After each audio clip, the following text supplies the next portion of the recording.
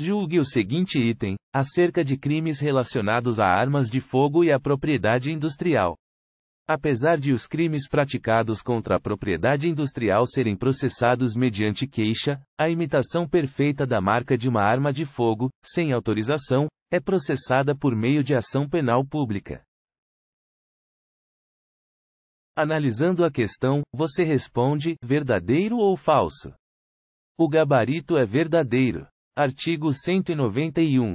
Reproduzir ou imitar, de modo que possa induzir em erro ou confusão, armas, brasões ou distintivos oficiais nacionais, estrangeiros ou internacionais, sem a necessária autorização, no todo ou em parte, em marca, título de estabelecimento, nome comercial, insígnia ou sinal de propaganda, ou usar essas reproduções ou imitações com fins econômicos.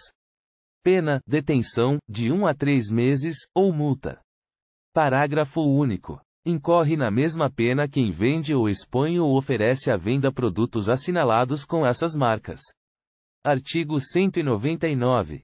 Nos crimes previstos neste título somente se procede mediante queixa, salvo quanto ao crime do artigo 191, em que a ação penal será pública.